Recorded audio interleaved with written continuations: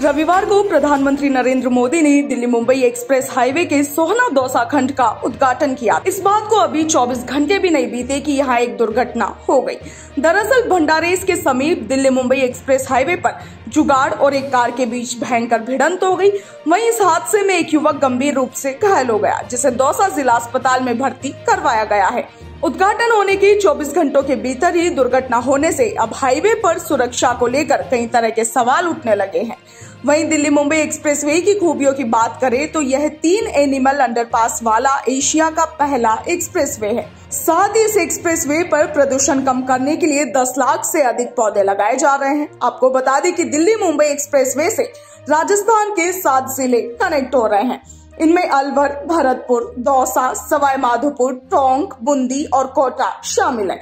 वहीं expressway Delhi Mumbai industrial corridor को और भी ज़्यादा ताकतवर बनाने का काम करेगा। इसके साथ ही यहाँ मालगाड़ियों के लिए जो रास्ता बनाया गया है उसका 550 किलोमीटर से अधिक भाग राजस्थान में है। इससे राजस्थान सीधे तौर पर गुजरात और महाराष्ट्र के बंदरगाह से जुड़ेगा, जिससे राजस्थान में उद्योग लगाना और भी ज़्यादा आसान हो जाएगा। Bureau report, Punjab Kesari, Rajasthan.